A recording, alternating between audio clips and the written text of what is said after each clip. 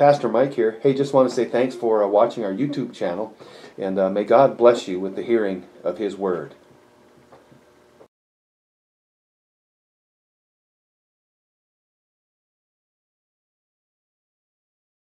Let's turn together tonight uh, in our Bibles to the book of James. And uh, we remember from last Wednesday evening, um, James is the half brother of the Lord Jesus Christ, the author of this book, who was, uh, again, uh, inspired by God to write the very words that we have here. And uh, we begin, um, and I want to read together tonight, verse number one. James chapter 1. Look at verse number 1, and then we'll read verse number 2 as well together. We'll see how far we get. James chapter 1, look at verse number 1 and 2. The Bible says, James, a servant of God and of the Lord Jesus Christ, to the twelve tribes which are scattered abroad, greeting. My brethren, count it all what? Joy. When ye fall into diverse temptations. So uh, tonight, as we are going to, again, uh, James last week laid the foundation. And you remember that he begins here, James, the half-brother of the Lord Jesus Christ, James, the inspired author of this particular epistle, uh, simply calls himself a servant. James, a servant of God. And we remember, don't we, that we looked together in Holy Scripture as James lays this groundwork uh, last week and tonight.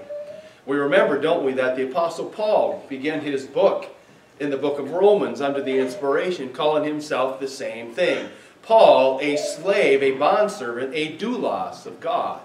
We also saw that Peter himself said, hey, I'm, you know, I was uh, very uh, influential in the beginning in the early church. I preached the first sermon in the early church, and he simply identifies himself as Peter, a bond servant, a servant, if you will, a slave, a doulos to the Lord Jesus Christ. And uh, even from last Sunday, Brother Dean, as he was preaching in the book of Jude, we looked at that. Jude, again, calls himself nothing more than a slave, a doulos, a servant to the Lord Jesus Christ. And again, these men, brethren, clearly understood and clearly taught from that perspective.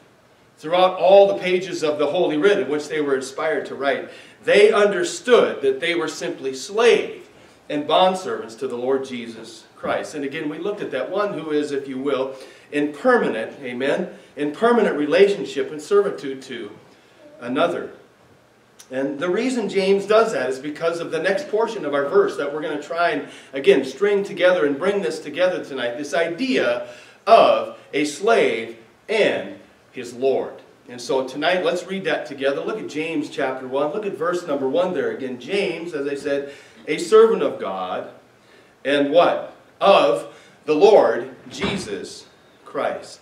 It's interesting, isn't it, that as God led James to write, he explicitly tonight, brethren, used the word Lord. Jesus, the Lord. Amen. Kyrios. That's the word that he uses there. And the word Kyrios simply means supreme authority. In other words, the Lord and master of the doulos, the slave. So in other words, he lays the foundation, says, I'm a slave to Christ. Christ, then he records that Christ is his master. He is the Lord. He is the Kyrios, if you will.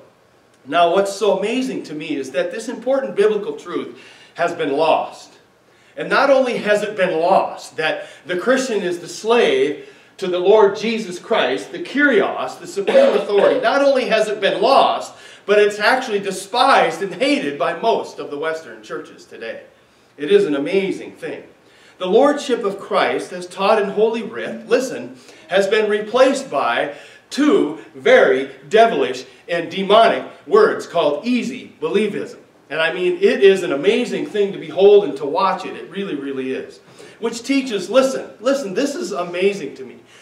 Easy believism teaches this that you can receive Christ as Savior Amen. And then reject him as Kyrios, as Lord. I mean, it's an amazing thing. It's as if you look in Holy Writ and you see, as one pastor put it, a divided Christ.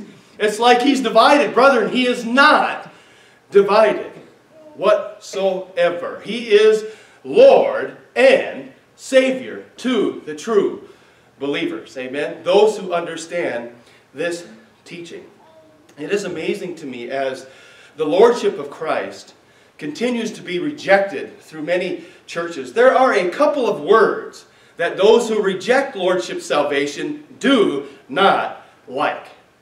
One of them is repentance.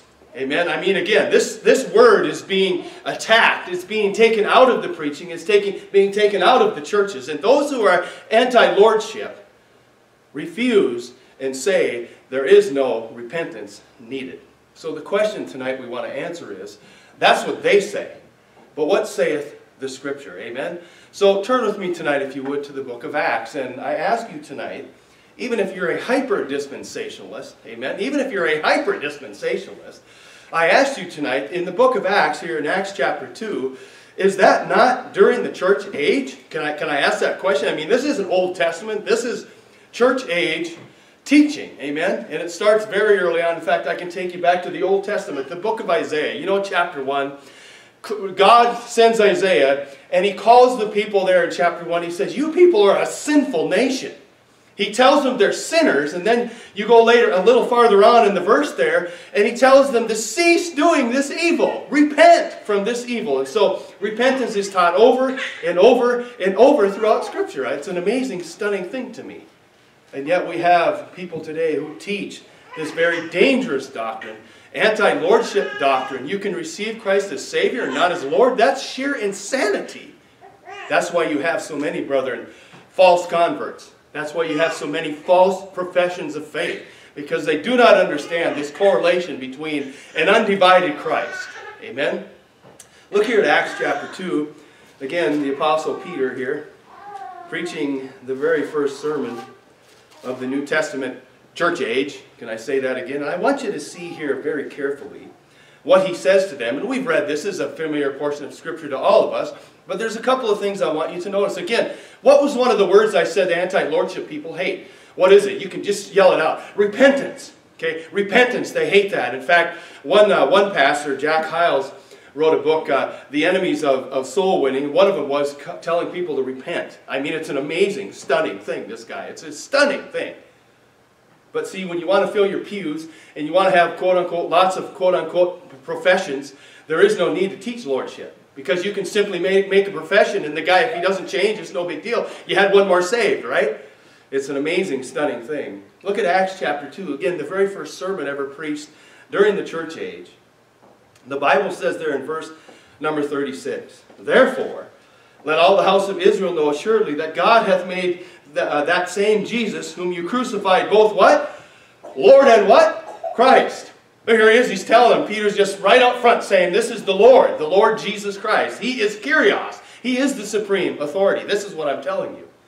Look at verse 37. Now, when they heard this, they were pricked in their heart. And I don't, you know, I don't need to go into that. We've talked about that. That word pricked there literally means to agitate violently, to pierce, to pierce thoroughly in their heart, and said unto Peter and the rest of the apostles, Men and brethren, what shall we do? That's a great question. We've been confronted with that kind of a, with that kind of a situation verse number 38. Then Peter said unto them, What's that next word? Repent. Repent. Repent. Anytime you see the Lordship of Christ being taught, repentance is something that comes right along with the Lordship of Christ. Again, understanding and knowing that you are simply a slave to Lord, the Kyrios, God Himself, the Lord Jesus Christ. Lord and Christ, repent. Look at Acts chapter 3. Look at Acts chapter 3. Again, can I ask this question? Is this during the church age? I, I think so. I think this is during the church age. I'm just asking. Because again, supposedly during the church age, repentance is not, is not needed. There's no need to, to preach it. If you don't believe in the Lordship of Christ. But what does the Bible say? Isn't that what we always want to ask ourselves? I mean, what saith it? That's what you always want to ask, no matter what. Look at Acts. Look at Acts chapter 3. Look at verse number 14. But ye denied the Holy One and the just, and desired a murderer to be granted unto you. And killed the what? What's that word starts with a P? Prince. Hey, Jesus is not, and, and listen, again, rambling uh, neo-evangelicals use these kind of terms. Personal Savior. Personal Savior.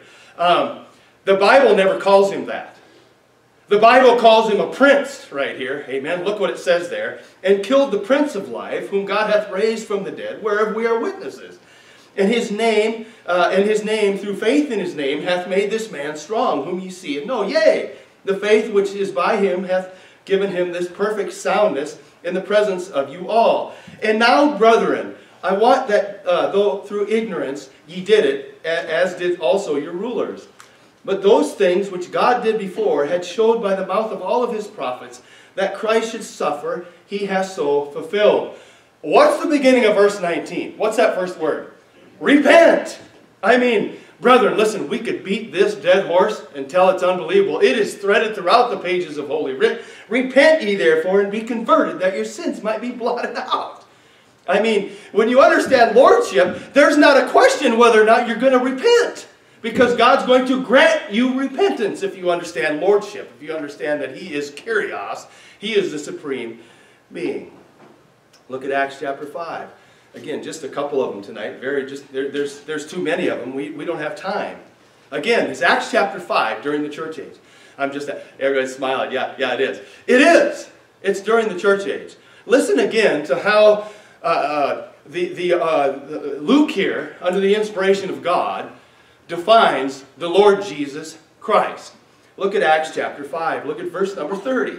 Acts 5, look at verse number 30. The God of our fathers raised up Jesus, whom ye slew and hanged on a tree. Him hath God exalted with his right hand to be a what? Prince and a Savior, for to give what? Repentance to Israel and forgiveness of sins. And we are, we are his witnesses of these things, and so is also the Holy Ghost, whom God hath given to them that obey him. Now, my question is this listen, if we understand that God, that the Lord Jesus Christ is Kyrios, that he is the supreme authority over the slave who we are, amen, let me ask you this. What do you do before a prince? The Bible just called him prince in two verses. A prince. What do you do before a prince, brother? I'll tell you what you do. You generally, in a prince, someone with that kind of authority, you're down, uh, bowing before them, in front of them. Amen? Not making him your personal savior. Because when you make him your personal savior, you make him into whatever you want him to be. Not what the Bible says he is. He is the prince and savior. And you submit, brethren, to the prince. Amen? This is the idea here. This is what we're trying to get through. Look at one more. Look at 2 Corinthians chapter 4. Again, the idea here um, of the Lord Jesus Christ being Kyrios and we being his servants. Look at 2 Corinthians chapter 4. Look at verse number 3. 2 Corinthians chapter 4, look at verse number 3. The Bible says, But if our gospel be hid, it is hid to them that are lost in whom the God of this world hath blinded the minds of them which believe not, lest the light of the glorious gospel of Christ, who is the image of God, should shine unto them. For we preach not ourselves, listen, but Christ Jesus the what? Lord. Kyrios, that's who we preach. We preach him as Lord. We preach him as Kyrios. He's the supreme authority. He has all power, all authority over the slaves. Now listen to what Paul says in this one verse. He says, For we preach not ourselves, but Christ Jesus the Lord, and ourselves your what? Servants, your doulos, your slaves. Here we have in the same passage the lordship of Christ being taught, with Paul having the understanding that he is just merely a servant, a doulos, a slave of Christ. It's amazing to me. Have you ever seen, well, do we have any farmers in here tonight, any ranchers? You ever had cattle? You ever had that kind of thing? You know what ranchers, farming, or cattle ranchers do? You ever been to a branding? You ever been to a branding, smell how nasty that is and that kind of a thing? You know why they brand their cattle? Because that way, other if they get mixed in with the other herd, those sorts of things, they'll know who the owner is of that particular animal. Amen? Many times, in the era that we're talking about here, many times, a slave was branded with the marks of their owner. And the Apostle Paul is at the very top of the list. Turn with me, if you would, in Galatians for just a moment. Look at Galatians chapter 6. Turn with me there again. The idea of the slave, the doulos, and the Lord, the Kyrios being the supreme. Look at Galatians chapter 6. Let me show you this here. Again, the Apostle Paul, surely understanding what he was preaching and writing about here under the as soon as I get there, my pages are sticking together tonight. All right, Galatians chapter 6. Look at verse number 17. Or verse 16. We'll just start there. And as many as walk according to this rule, peace be unto them, and mercy, and upon the Israel of God. Look at verse 17. From henceforth let no man trouble me, for I bear in my body the what? The marks of the Lord Jesus Christ. Paul clearly taught and he clearly understood, again, a slave who is being marked by its owner. Amen. And this is what Paul is saying. I'm a doulos, I'm a slave. And by the way, how do you know I'm a slave to Christ? I bear in my body his markings. Amen. It is a most amazing thing. In fact, I like what Charles Spurgeon had to say concerning this.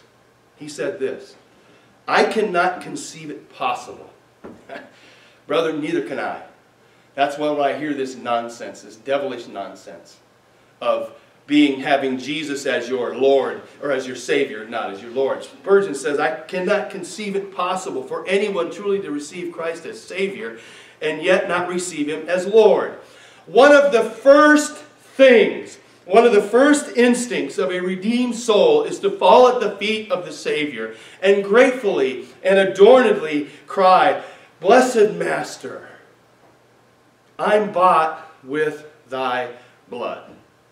Listen, somebody who understands that, that is a most amazing thing. He says, I am bought with thy precious blood. I own that I am thine, and thine only, Spurgeon says, thine wholly, and thine forever. Lord, what wilt thou have me to do? This is the mindset. This is the understanding. This is the idea that we have. And when a slave, a servant of Christ, understands that he is, he is the Lord of their life. In fact, if you look up the screen here, you could read James chapter 1, very much verse 1, like this. James, a servant, a doulos, a slave of God. He understood that. And of the Lord, Kyrios, supreme authority, master of the doulos and the slave, Jesus, Jehovah Savior, Christ, the anointed Messiah. Think of all of that that James put in that first verse to help us to understand that as we move forward, and again, I've told you, this is why James lays the groundwork in verse number one. Because, brethren, listen, if you don't think that Christ is Lord, you will not submit to the 54 imperatives that he lays out for the church. You won't do it. Amen? And neither will I, unless the Spirit of God is convicting our hearts and helping us to understand how important the Lordship of Jesus Christ is. The Lord Jesus Christ is in fact, scripturally and biblically, amen, unified as Prince, Savior, and Lord throughout all of Holy Writ. Brethren, there is no divided Christ. You can't take one without the other. It is a one unified deal together. Amen? If you got one without the other, brethren, you got the wrong Christ. You have the wrong Jesus. It isn't the same Jesus of the Scriptures. And this is what is so very important. These important doctrines taught and, and taught throughout the pages of Holy Writ. Now, if you look back there, James chapter 1, look at James chapter 1 again, back up there. We're going to go into, uh, into verse number 2. And again, all of this only makes sense, brother.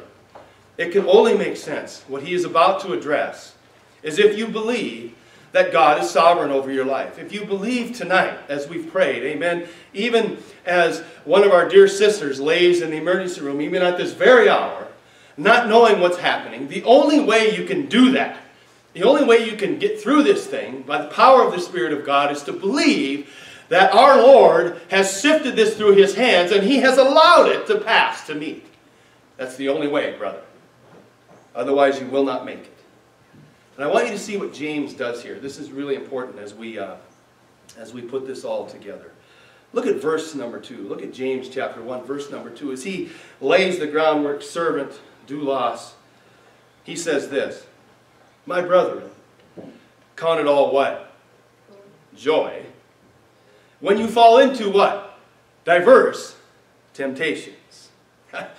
James here, under the inspiration of God, brethren, begins his dissertation to you and I, the believer, on our trials and our temptations. Now, I want you to notice in verses 2 through 12, it's very important. James first draws our attention to those temptations, those trials, in which you and I would call holy trials that are sent by God Himself. So, verses 2 through 12, there's two different things that he talks about. Verses 2 through 12, he is speaking specifically of those holy trials, those things that God brings and allows to come into our lives. Look at verse uh, number 12. I want you to see this. Look at James 1, look at verse number 12. Look at the first word. What's that first word say? Blessed. He just spent the last 10 verses talking about trials, talking about godly temptations and trials that are sent our way, that God, what we would call holy trials. And then he says, Blessed is the man that what? Endureth temptation. For when he is tried, he shall receive the crown of life, which the Lord hath promised to them that love him. So again, the first 10 verses there, prior to that, he goes through and discusses some of our trials, those, those trials and temptations that come from God, which, listen, brethren, they're designed by Him to produce Christ likeness. This is what I'm talking about. This is the holy trial. These are the holy temptations, those things that should bring out in us and produce in us and grow us to be Christ like. On the other hand, I might say, and James says, under the inspiration of God, in verses 13 through 15, he draws our attention, brother, to some different types of trials and temptations, which we would call unholy trials or evil temptations. Look there, if you would, at verse 13. We're just gonna, I'm just going to lay this out here and kind of lay it out here, and then as we systematically go down through the verses, we'll look at each one. But I'm showing you that the first 12, brethren, are for our good that God brings, that we might produce Christ's likeness in us. Look at verse 13. Look what the Bible, look what James writes there. James chapter 1. I got to get there. Look at verse number uh, 13. Let no man say when he is what? Tempted. I am tempted of God. For God cannot tempt with what? Evil. You remember Father Abraham. If you go back to Genesis there, you'll see that God tempted Abraham. He tested Abraham, but not with evil. This is an entirely different kind of trial, a different kind of test that comes into our lives. Look what it says. Let no man say when he is tempted, I am tempted of God, for God cannot be tempted with evil, neither tempteth he any man. Listen. But every man is tempted when he what? Is drawn away of his own what? Lust and enticed. Brethren, this is a different kind of trial that comes from within, and from that's devilish, an unholy trial, if you will. Look at what he says there in verse 15. But when lust hath conceived, it bringeth forth what? Sin. And sin, when it is finished, bringeth forth what? Death. And so we see this division tonight, brethren, between verses 2 through 12 and 13 through 15. Two entirely different kinds of trials and temptations. Now, it's interesting here when we look at this together. James says this in verse number 2. Let's look at that again. Look what he says. He says, My brethren, Count it all joy when ye fall into what? Diverse temptations. Now let's first,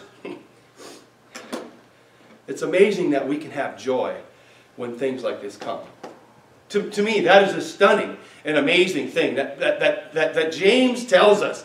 Count it all joy, brother, when ye fall into a temptation. What we have to do tonight, brethren, is define that word joy. What does that word joy mean? There's two different joys that we see in Scripture. This one here is a biblical joy. This is the kind of joy that you and I, brethren, should be, be producing as we're going through these God ordained, God sent, God given trials and temptations. Biblical joy is this having a calm delight. Think of this. Having a calm delight regardless of my circumstances. I know some people like that. Do you? I know some Christian people who have a calm delight no matter what's going on. And I have to be honest with you, this is an area that, brother, and I need to really ask the Spirit of God to help me. Because I, you can ask my wife over here. I am sit and I am a complete, and it's sinful, brethren, worry wart. Chewing the fingernails, can't sleep at night. Boy, this is happening, that's going on. I mean, these temptation and trials come. But I know some people, brethren, who are just very calm, very just trusting in the Lord. Amen when these things come. This is a biblical joy. This is the kind of joy we're talking about. Is having a calm delight regardless of our circumstances. Listen, having an exceeding, listen, gladness. When was the last time, brethren, you stood up when you were going through some very deep trial and said, I'm glad I'm going through this trial. I'm happy I'm doing that. This is happening to me. Listen, that is counter to our flesh. Amen. That is antithesis to our flesh. Because generally what we do is we sulk and we whine and we dribble. Paul or uh, James says here, brethren, count it all joy when ye fall into. Listen, he doesn't say if you fall into. You get that? He doesn't just say if. He says when you fall, when ye fall into it, count it all joy. Now listen, I want us to see, again, this, this idea of biblical joy. Amen? Having a calm delight, regardless of our circumstances. Look at John chapter 16. That's a great place to look tonight to our Savior, to the Lord Jesus, who is, is God, spoke here. Look at John chapter 16. And uh, his disciples were with him, and um, he had spoken some very hard things. And uh, they're sitting here in John 16. Look at verse number 20. Look what the Bible says. Verily, verily. Hey, anybody remember what that means? Truthfully, truthfully. Amen. I say unto you, that ye shall weep and lament. Listen, but the world shall what? Rejoice. Do you see? There is a biblical joy. There is a joy that the Christian experiences. There's also a temporary joy that the world rejoices in. It's an amazing thing to see this and to behold this, and it's, it's going to be interesting as this unfolds. Look at what it says there. Verily I say unto you that ye shall weep and lament, but the world shall rejoice, and ye shall be sorrowful, but your sorrow shall be turned into what? Joy. Biblical joy. A woman, hey, do we have any pregnant ladies in here tonight? Oh, that's right, we have several of them in here. Amen. Hey, hey ladies, listen to the illustration that Jesus uses here he says this A woman, when she is in travail, labor, hath what? Sorrow. I don't know, I've never had a child, but I've seen all of mine born. Well, my, you know, you know what I'm saying. Apart from the two adopted ones, I've seen them all come into the world. And uh, it was an amazing thing to behold. I always tell people this. and, uh, and brothers, you can relate, amen? Those of us uh, who have had children. See, when the women are having the children, amen, especially if it's a long, drawn out affair, a long, drawn out uh, uh, labor time, something amazing happens. Because after they have the baby and all the pain is gone, something weird happens. I mean, it's an amazing thing because what happens is they forget about that pain. And then they come to the husband and go, I think we should have another one. And the husband's looking at him going, mm-hmm, mm-hmm. Um, this is an amazing thing. This is something God gives to the women. I mean, it's, it's an amazing thing. But look at what, listen to what he says. Uh, because her hour is come, but as soon as she is delivered of the child, she remembereth no more the anguish. For what? Joy that a man is born into the world. Look at verse 22. And ye know therefore, and, and ye now therefore have sorrow, but I will see you again, and your heart shall rejoice. Listen, and your what? Joy no man taketh. This is what I'm talking about. This is a biblical kind of joy. This is the joy that it doesn't matter. The Lord Jesus here has just told them, I'm leaving. I've been with you for three and a half years. I've preached. You've been with me. I've ministered. I've, I've discipled you. And by the way, I'm leaving. And man, they couldn't believe what they were hearing. And he says, don't worry, don't worry because when I leave, when I'm crucified, the world will what? What did the world do? They rejoiced. There was much sorrow at the cross for the true believers. The world rejoiced. They were brokenhearted until he rose from the grave. Amen. But you see this temporary thing. I'm talking, that's what I'm talking about. Young people. Young people, are you listening? Listen, if you think worldly joy has any lasting value, you're dead wrong. Just like I have to learn that. But biblical joy cannot be taken from you, no matter what the circumstance is, no matter what happens. Look at what it says there in verse 23. And in that day ye shall ask me nothing. Verily, verily, I say unto you, whatsoever ye shall ask the Father in my name, he will give it to you. Hitherto have ye asked nothing in my name. Ask, and ye shall receive, that your what? Joy may be full. This is what we're talking about. A worldly joy, a biblical joy, which is what James is talking about. There is nothing that can hinder that joy. Amen? The Holy Spirit of God, our circumstances, is controlled by a sovereign Kyrios, God himself. Amen? Look here at 1 Peter. Look over here. Just look at a couple of verses with me tonight again. This idea of biblical joy. I know that several of you tonight could stand up and give me the background of what's taking place when Peter is writing this letter under the inspiration of God. Anybody remember who the emperor was when Peter was writing this letter? Nero. Of course, Nero, right? And Nero loved Christians, didn't he? I mean, he, he, he loved Christians. No, no, he didn't. He hated them. He despised them. Amen. In fact, we all know what he did with them. Amen. Historically, it's very clear. So you have to keep this in mind, brethren, that when Peter's writing this, listen, the persecution and the things that were happening to the Christians around him would make you look and go, really? I mean, this is what we are supposed to have. This is what the, the Holy Spirit, the Lord God, the Lord Jesus Christ gives us. When this is going on, this is it, right here. Look at 1 Peter, if you would, chapter 1. Look at verse number 6. Look at verse number 6. Wherein ye greatly rejoice, though now for a season, if need be, ye are in heaviness through manifold what? Temptations. Look at verse 7. That the trial of your what? Faith. This is what James is trying to help us to understand. Amen? Hey, brethren, count it all joy, biblical joy, when ye fall into temptation. Now, Peter's saying the same thing. Hey, when there's much trial, when there's much temptation, when there's much hatred from the world, be joyful. Have that biblical joy that cannot be taken away. And he says that the trial of your faith, being much more precious than gold, that perisheth, though it be tried with what? Fire. Listen. Might be found unto the praise and honor and glory at the appearing of Jesus Christ. Look at verse 8. Whom having not seen, ye love, in whom though now ye see him not, yet believing ye what?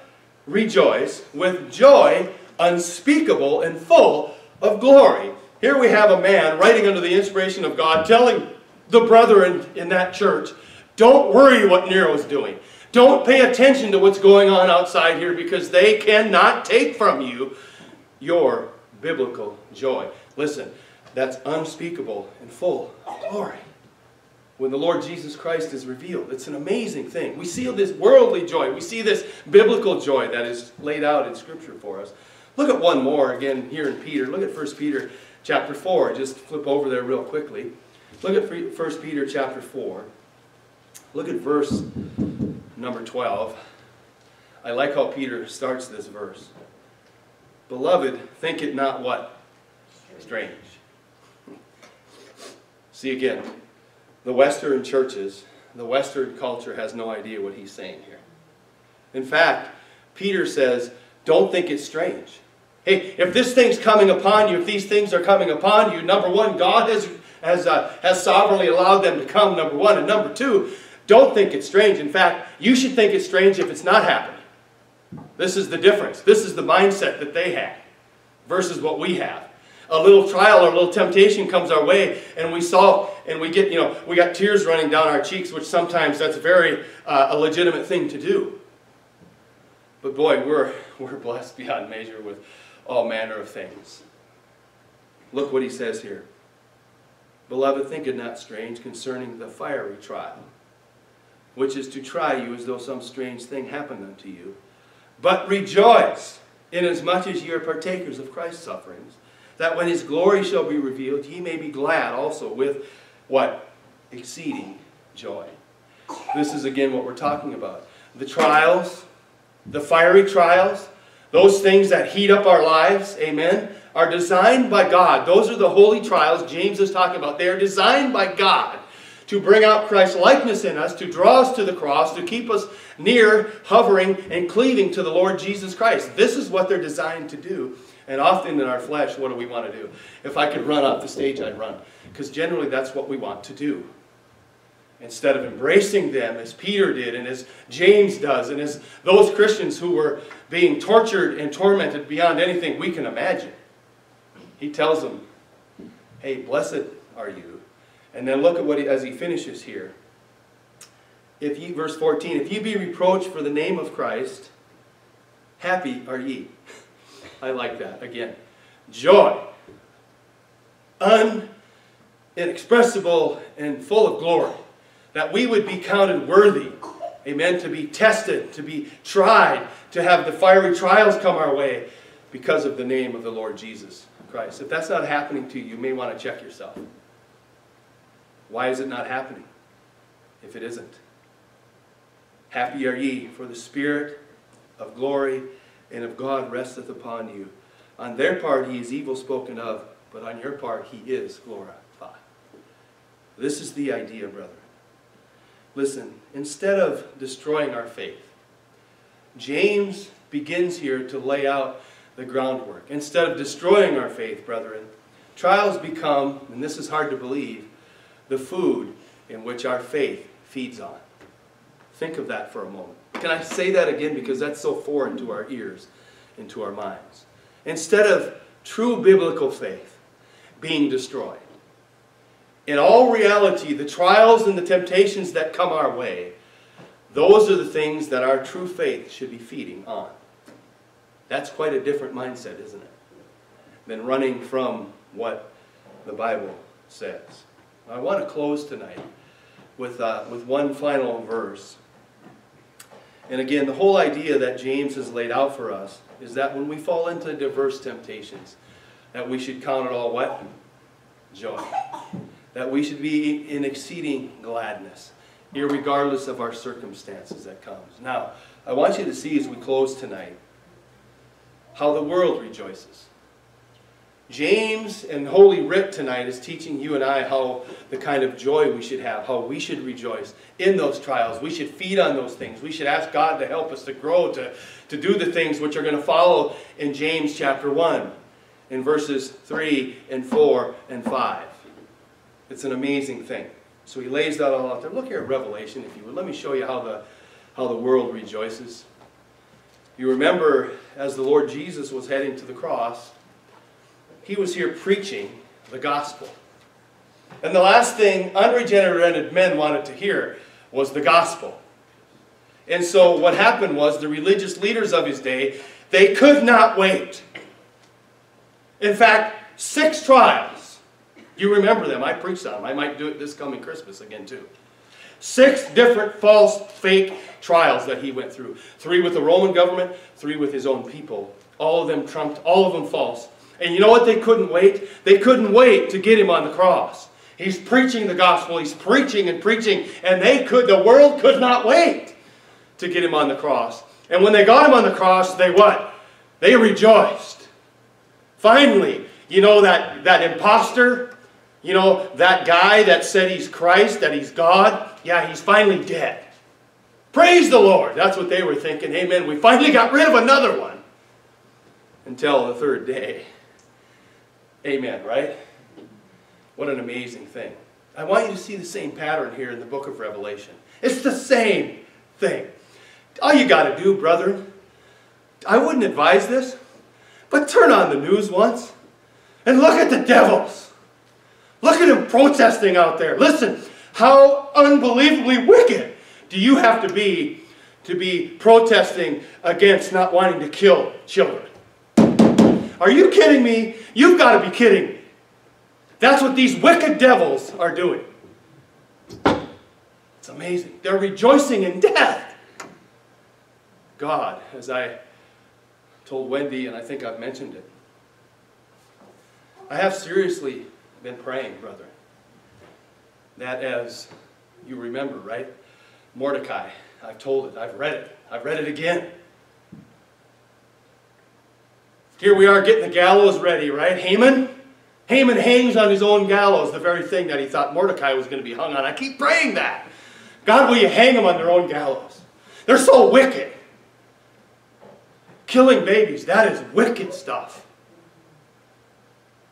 But they rejoice in it, brethren. Look here in Revelation. Let me show you this. Look at Revelation chapter 11. Look at Revelation chapter 11. Look at verse. Let's see. We got a couple of minutes. We're going to back up just a little bit. Verse 2, Revelation 11, look at verse 2. But the court which is without the temple leave out, and measure it not, for it is given unto the Gentiles. And the holy city shall they tread under foot forty and two months. And I will give power unto my two what? Witnesses. You see this here? He's going to give them power. And they shall prophesy a thousand two hundred and three score days clothed in sackcloth. And if we had time, remember when I preached through the book of Revelation, we spent some time here on who these two are. These are the two olive trees and the two candlesticks standing before the God of the earth. And if any man will hurt them, fire proceedeth out of their mouth and devoureth their enemies. And if any man will hurt them, he must in this manner be killed. These have the power to shut up heaven that it rain not in the days of their prophecy, and have power over waters to turn them to blood, and smite the earth with all the plagues, with all plagues as often as they will. And when they shall have finished their testimony, the beast that ascendeth out of the bottomless pit shall make war against them, and shall overcome them, and what? Kill them. Here God raises up his two witnesses, and they're standing there preaching to those wicked people. And those people hated them. They despised what they were doing as these men were preaching to them, these unregenerate dogs and devils. Look what it says, verse 8. And their dead bodies shall lie in the street of the great city, which spiritually is called Sodom in Egypt, where also our Lord was crucified. And they of the people and kindreds and tongues and nations shall see their dead bodies three days and a half, and shall not suffer their dead bodies to be put in graves. Look at verse 10. You want to see how the world rejoices. This is what they do. And they that dwelt upon the earth shall what? Rejoice over them and make merry, and shall send gifts one to another, because these two prophets tormented them that dwelt on the earth. It's an amazing thing, brethren. Here you have these two men that God has raised up to preach to this wicked generation, preaching away to them, and they hated them and despised them. The two men are killed. The righteous men who are preaching are killed. And what does the world do? They rejoice and they give one another what? Gifts. Rejoicing in their own wickedness. It's a stunning and amazing thing to me. This is where we're at. This is literally, you turn on the news. In fact, you listen to those liberal devils talk. They can't kill you fast enough. They're writing books about killing Christians. They're writing books about killing good Christian people. Amen. And they want to rejoice. In fact, some of these feminazis who have been so taken over by the devil said they like to watch these white men squirm as they die, as we stab them and do whatever we do to them. It's a stunning, wicked thing. These wicked devils rejoice in that. Amen. The Bible tells us, doesn't it? There's another joy, a lasting biblical joy that no one can take. You notice how temporary their joy was? Just like when the Lord Jesus rose from the dead. Look there, let's just finish that verse. Look at verse number 11. And after three days and a half, the Spirit of life from God entered into them, and they what? Stood up on their feet. Amen? And great fear fell upon them which saw them. Brethren, how fleeting is worldly gift giving. How fleeting do we see in that passage worldly gifts being given these wicked people, and it's gone and over like that. Listen, this is what James is telling us tonight as we close. James says, My brethren, count it all joy. Amen? A biblical joy. A joy that has to do with not our circumstances, with anything that's taking place, but that joy that's unspeakable and full of glory, which the Holy Spirit of God gives to His children. In those godly, holy trials and temptations that come our way, which God has specifically designed to bring out Christ's likeness in us and to transform us into the image of His dear, beloved Son. Brethren, let us have a biblical view of the Lordship of Christ. Amen? That He's Savior and Lord. That way, when we understand that He's Savior and Lord, the Holy Spirit, the change that comes, we will gravitate towards and we will be joyous in our trials and temptations, knowing the good that God is sending our way. Amen? Boy, it's amazing, isn't it, when you can get your kind of your view, you know, we, like we were talking about this is the message on Sunday. You know, having a view that's just not right. And then you just simply, you hear Scripture preached, and you just bring that view right in line with Scripture. Amen? That's what we must do. This is what these trials, James is telling the brethren, are designed to do. To make us Christ likeness. Amen? All right. Anybody have any uh, questions or comments tonight before we, uh, before we close in prayer together? All right a lot there, isn't there? We're not done with verse 2 yet, but there's a lot there. Verses 1 and 2 are packed full of unbelievable importance as the letter then unfolds before us. The Lord Christ, He is our Kyrios. We, brethren, are doulos, slaves, to a wonderful and mighty, supreme authority, God Himself. Amen? All right, well, let's pray together tonight then. Father, we again thank you for the holy writ that we've heard tonight. And Lord, there are many things that I'm sure could have been said better. Maybe some things, Lord, that um, were left unsaid. But Lord, there's a lot of deep doctrine here, a lot of important truth that comes from the book of James. And may we never consider it unuseful. And Father, as we see your Lordship on display, as we understand who we are, so thankful, as Spurgeon said, so thankful and so grateful. All we can say is, Great Master, I know that I've been bought with thine blood alone. I am thine only forever. Master, what can I do? Father, that must be the attitude that we have. Understanding again that Holy Writ clearly describes, as Paul wrote under the inspiration in 1 Corinthians, you were bought with a price. Therefore, honor God with your body. Father, uh, we're thankful for the gift of salvation. We're thankful tonight for the price that you paid, that only you could do. And then you would be so gracious to your sheep to call them out of darkness into light. As we're going to see not too far along here, the Father of lights. There is no darkness in you. You are perfect and pure and holy and good.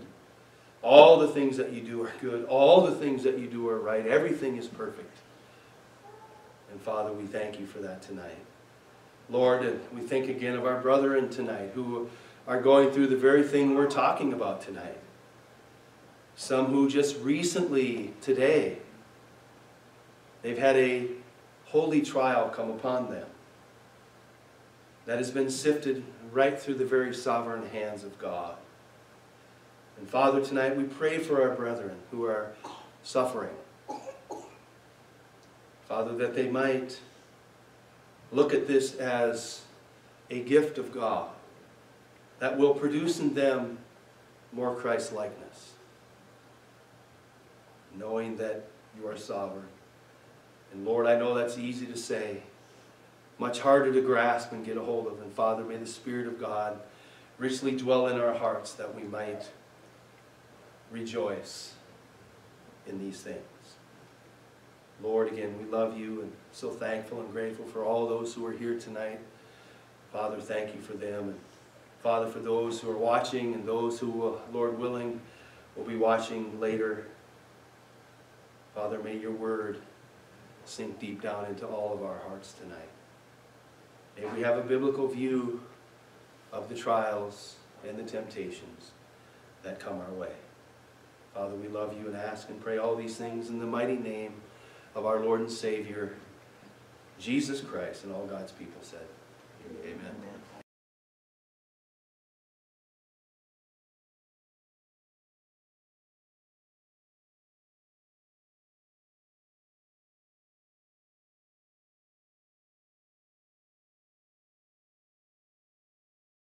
It is an amazing thing